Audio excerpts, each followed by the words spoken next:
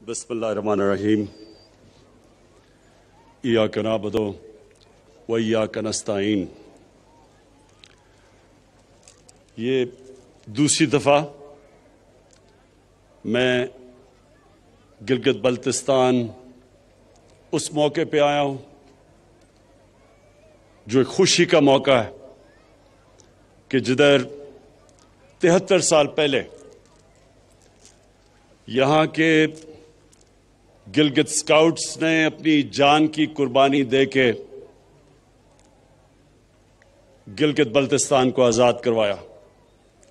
तो मुझे आज बड़ी खुशी है कि मैं अब दूसरी दफ़ा फिर दूसरे साल फिर यहाँ आपके साथ खुशी बनाया बनाने आ, आया हूँ। और इन जब तक मैं वज़ीर आज़म रहूँगा मेरी हमेशा कोशिश होगी कि ये जो दिन है फ़र्स्ट नवंबर ये मैं आपके साथ गुजारूं।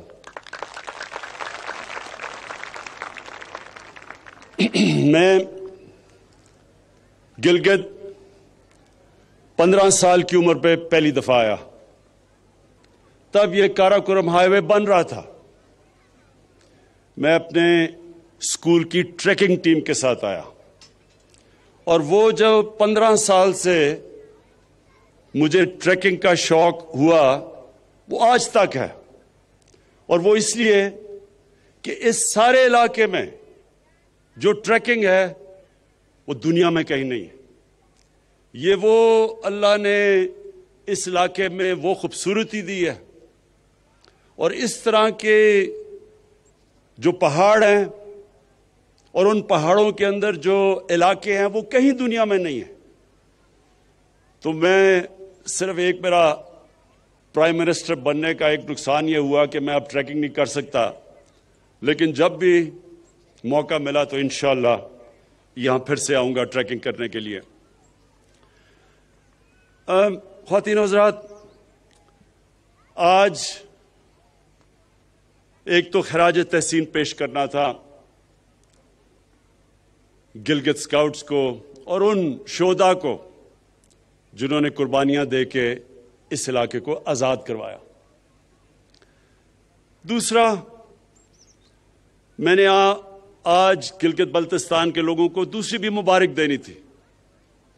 और वो ये कि जो हमने फैसला किया है कि गिलगित बल्तिस्तान को प्रोविजनल प्रोविंशियल स्टेटस देना है जो इनकी डिमांड थी बड़ी देर की। और ये यूएन सिक्योरिटी काउंसिल्स की रेजोल्यूशन के बीच में रखते हुए हमने फैसला किया है। वो सिक्योरिटी काउंसिल की जो रेजोल्यूशंस हैं, उसके बीच में हमने फैसला किया है। लेकिन मुझे पता है कि यहाँ के नौजवानों की बहुत देर की डिमांड थी तो मैं आज उसकी भी मुबारक देता हूँ। अब जहाँ तक पैकेज की बात की और डेवलपमेंट की, वो मैं आज बात इसलिए नहीं कर सकता क्योंकि इलेक्शंस के दिन है। लेकिन मैं सिर्फ़ ये कहता हूँ कि हमारी गवर्नमेंट की पॉलिसी खास तौर पे हमारी गवर्नमेंट की पॉलिसी ये है कि अपने कमज़ोर तबके को उठाया जाए, जो हमारे गरीब हैं, जो जो पीछे रह गए हैं, जो 25 फ़ीसद पाकिस्तानी गुर्बत की लकीर से नीचे हैं। सबसे बड़ी प्रायोरिटी है कि उनको हम कैसे ऊपर लेके आए। और दूसरी, जो पाकिस्तान के इलाके पीछे रह गए, जिस तरह गिलगित बल्तिस्तान पीछे रह गया है, और उसकी बहुत बड़ी वजह यह थी कि यह कट ऑफ़ था। जब तक कि काराकोरम हाईवे नहीं बना, इधर शायद ही कोई आता था, और डेवलपमेंट की चांस नहीं थी तो इसलिए यह पीछे रह गया है। लेकिन हमारा कबायली इलाका भी पीछे रह गया है, बलूचिस्तान भी पीछे रह गया है। सारे जो मगरबी डिस्ट्रिक्ट्स हैं, पंजाब के, अंदरून सिंध, वो पीछे रह गए हैं। तो हमारी पूरी कोशिश है कि सारे इलाके उनको उठाया जाए और जो फिर से मैंने कहा, जो हमारा कमज़ोर तबका, जो गरीब लोग, जो इस वक्त, दो वक्त की रोटी सही तरह नहीं खा सकते, उनको ऊपर उठाया जाए। तो इन आने वाले दिनों में आप देखते रहेंगे कि हम जिस तरफ़ जा रहे हैं, हमारी जो सारा डेवलपमेंट का प्रोग्राम है, वो जाएगा ही उस तरफ़, उन इलाकों में जो पीछे रह गए। मैं, क्योंकि आज मेरे फौजी भी सामने खड़े हैं, जवान सामने खड़े हैं, मैं सारी अपनी कौम को अहमियत बताना चाहता हूँ कि कितना ज़रूरी है एक मज़बूत फौज की, एक मज़बूत फौज का होना पाकिस्तान के लिए। यह मैं अपनी सारी कौम को भी बताना चाहता हूँ। आज अब सारी मुसलमान दुनिया में देखें। शुरू करें लिबिया से, फिर सोमालिया पे जाएँ, फिर सीरिया जाएँ, फिर यमन जाएँ, फिर अफ़गानिस्तान को देखें, फिर इराक को देखें। तबाही मची हुई है। या जंगें हो चुकी हैं या हो रही हैं, लेकिन अवाम मुश्किल में है। मुश्किलों का सामना कर रहे हैं लोग। और उसके बाद ये देखें कि हमारे मुल्क का जो इस वक्त हिमसाया है, हिंदुस्तान में आज वो हुकूमत आई है, जो पिछले तिहत्तर साल में सबसे ज़्यादा इंतहा पसंद, मुसलमानों से और पाकिस्तान से नफरत करने वाली, जो वो हिंदुस्तान में मुसलमानों से कर रहे हैं, जो दो उन्होंने कानून बनाए, सिटीजन, सिटीजनशिप लॉ और एक और रजिस्ट्रेशन, सिटीजन रजिस्ट्रेशन लॉ, ये है ही मुसलमानों की तरफ़ कि उनको एक बराबर का शहरी हिंदुस्तान में ना समझा जाए। और जो उन्होंने कश्मीर में किया, पाँच अगस्त 2019 को, किसी हिंदुस्तान की हुकूमत ने वो नहीं किया कश्मीर के लोगों ने, लोगों से, जो इस इंतहा पसंद रेसिस्ट टोटलिटेरियन जो रेशल सुप्रीमसी में बिलीव करती है। बाकी इंसानों को बराबर नहीं समझती। हिंदुवता का जो नारा लेके आई है, उन्होंने जो कश्मीरियों पर जुल्म किया, कभी इस तरह का जुल्म पहले नहीं हुआ। तो उस तनाजर में देखना चाहिए कि कितनी ज़रूरत है आज हमें एक मज़बूत पाकिस्तान की फौज की और सिक्योरिटी फोर्सेस की। कोई हफ़्ता नहीं गुजरता जब हमारे सिक्योरिटी फोर्सेस अपनी जान की कुर्बानियाँ नहीं देते। पुराने कबाली इलाका जो मर्ज डिस्ट्रिक्ट्स हैं, आप उधर से लेके आप बलूचिस्तान, कराची में भी कभी कभी एक पूरा प्लान से पाकिस्तान के खिलाफ दहशतगर्दी की जा रही है। और कौन इनके सामने खड़ा है? हमारे फौजी, हमारी सिक्योरिटी फोर्सेस जो अपनी जान की कुर्बानियाँ देती है। और हम वो खुशकिस्मत मुल्क हैं कि जो पिछले पंद्रह साल में जिस तरह की, जिस तरह की पंद्रह साल में दहशतगर्दी पाकिस्तान में हुई और जो हमारे दुश्मनों ने पूरा फ़ायदा उठाया उससे और हमें डिस्टेबलाइज करने की कोशिश की, हम अपनी आज सिक्योरिटी फोर्सेस को दाद देते हैं। कि इनकी वजह से आज पाकिस्तान महफूज है और इनकी वजह से, इनकी कुर्बानियों की वजह से आज हमारा वो हाल नहीं है जो कई और मुसलमान मुल्कों का हाल है। और हमें यह भी पता है कि ये जो नरेंद्र मोदी की हुकूमत है, ये हर किस्म का अंतर इंतशार सिर्फ़ दहशतगर्दी के ज़रिए नहीं, जो इनका कलभूषण यादव ने जो बताया कि कैसे बलूचिस्तान में और कराची में उसकी मिशन थी दहशतगर्दी करने की। ये अंदर और इंतज़ार फैला रहे हैं, शिया सुन्नी की लड़ाई। प्लान किया हुआ था कि शिया और सुन्नी के आलमों को कत्ल करवाएँ ताकि इंतज़ार फैले। और वो भी हम, मैं आज दाद देता हूँ अपनी इंटेलिजेंस एजेंसीज को कि जिन्होंने बहुत इनके जो इनके प्रोग्राम थे इंतशार फैलाने के वो पाश पाश किए। मैं आज जो आखिर में बात करना चाहता हूँ वो एक पूरा, एक आज, आजकल के दिनों में एक पूरा प्लान बना हुआ है। हमारे वो लोग जो कि अपने आप को डेमोक्रेट्स कहते हैं सियासतदान कहते हैं, वो पूरी तरह आज हमारी पाकिस्तानी फौज के ऊपर और पाकिस्तान की अदलिया के ऊपर। उन्होंने पूरा डिस्क्रेडिट करने का उनको प्रोग्राम बनाया हुआ है। लेकिन ये क्यों है? ये आज सब मैं अपनी कौम को बताना चाहता हूँ, ये क्यों हो रहा है? मेरा जो पहला जब मैं वज़ीर आज़म बना तो जो मेरा पहला खिताब था, अगर आप वो देखें तो उसमें मैंने दो खास तौर पे चीज़ें कही। मैंने ये कहा कि जिन लोगों ने तीस साल से इस मुल्क को लूटा है, तीस साल से इस मुल्क का पैसा चोरी कर करके बाहर लेके गए हैं, ये सब इकट्ठे हो जाएँगे। ये इकट्ठे मेरे खिलाफ इसलिए होंगे कि इनको पता है कि मेरे तो 24 साल की कैंपेन ही ये थी। कि इस मुल्क में करप्शन का सामना करें। जब तक करप्शन है, मुल्क आगे नहीं बढ़ सकता।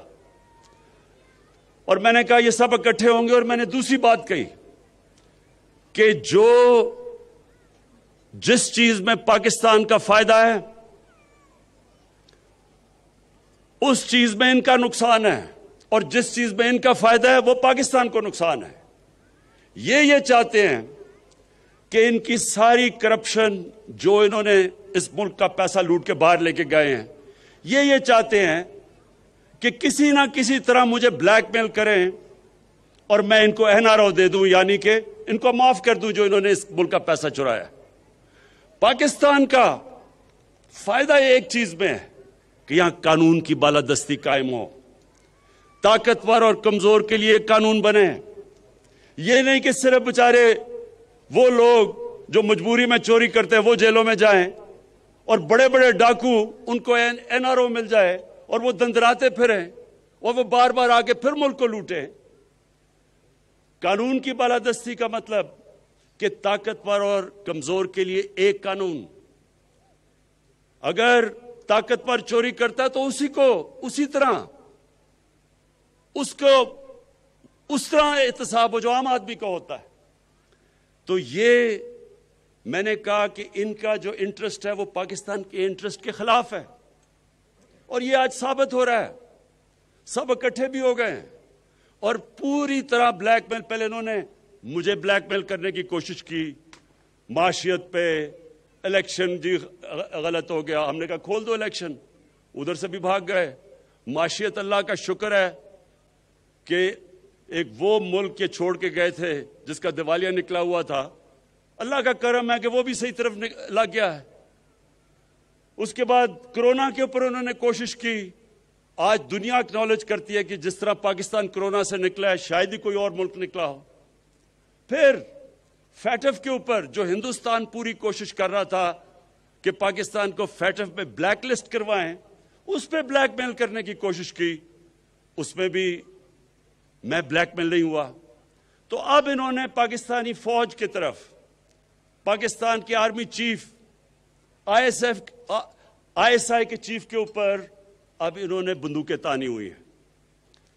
पहले तो मैं आज अल्लाह का खास शुक्र अदा करता हूँ कि अगर ये आईएसआई के चीफ को और आर्मी चीफ के खिलाफ बात कर रहे हैं, इसका मतलब मैंने बिल्कुल ठीक इनको मुंतखब किया। ये मेरी सिलेक्शन बिल्कुल ठीक थी।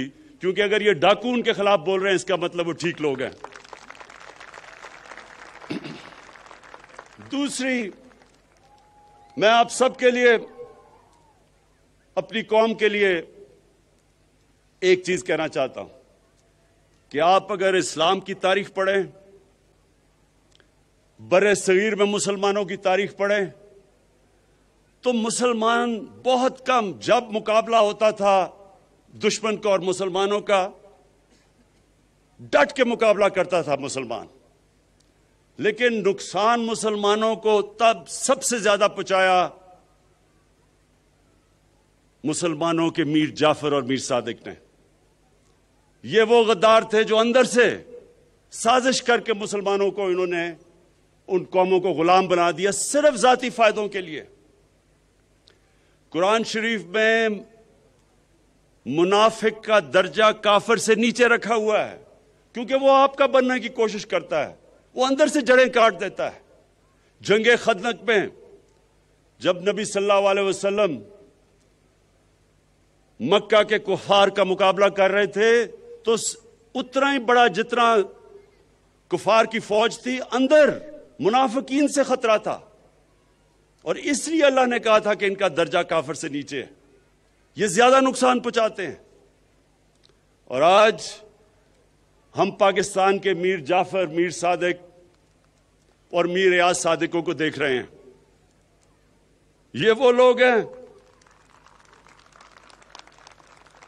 ये वो लोग हैं जो आ, आज नरेंद्र मोदी की जबान बोल रहे हैं। दुनिया ने कहा कि जिस तरह पाकिस्तान ने पुलवामा के बाद अपने आप को कंडक्ट किया मुझे सारे दुनिया के हेड्स ऑफ़ स्टेट के मुबारकी के मैसेजेस आए। और ये आज कह रहा है कि जनाब पाकिस्तान ने डर के किया, जो कि नरेंद्र मोदी ने सारी इलेक्शन कैंपेन की थी उस पर और सारा मकसद इनका मकसद है क्या? सारा मकसद एक है कि किसी ना किसी तरह इमरान खान ब्लैकमेल होके इनकी अरबों रुपए की लूटी हुई दौलत जो बाहर लेके गए हैं वो किसी तरह उसके लिए एनआरओ दे दे, माफ़ कर दे। मैं आज अपनी सारी कौम को कहना चाहता हूँ कि इमरान खान कभी इन डाकुओं को माफ़ नहीं करेगा। बल्कि जिस तरह इन्होंने हमारी अदलिया को अटैक किया, अदलिया के अंदर भी कोशिश कर रहे हैं कि एक जज को ऊपर चढ़ा दें। जब इनको माफ़ किया गया हुदैबा पेपर मिल में सुप्रीम कोर्ट ने तो तब अदलिया ठीक थी। लेकिन जब इनके खिलाफ पाँच मेंबर बैंक का, बेंच का फैसला आता है, जो आज बाहर भागा हुआ है, उसके ऊपर मनी लॉन्ड्रिंग का फैसला आता है तो तब अदलिया बुरी है। उसी तरह जो फौज के ऊपर प्रेशर डाला हुआ है यह सिर्फ़ और सिर्फ़ कोशिश है कि किसी तरह हम इतने प्रेशर में आए कि हम इनको माफ़ कर दें। अब तक मेरा पूरा ज़ोर था पाकिस्तान की माशियत ठीक करने का, क्योंकि हमारे मुल्क की माशियत का बहुत बुरा हाल था। माशियत के ऊपर अभी भी मैं ज़ोर लगाऊँगा।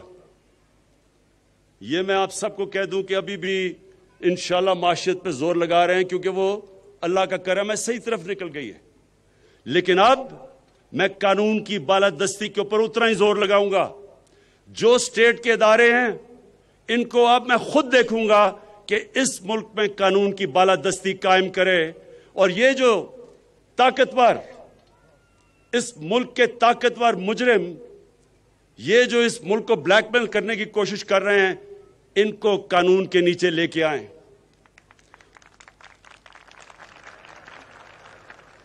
और इंशाल्लाह आने वाले दिनों में आप देखेंगे कि किसकी टांगे कांपती हैं और किसके माथे पे पसीना आता है। ये सारी कौम देखेगी। शुक्रिया।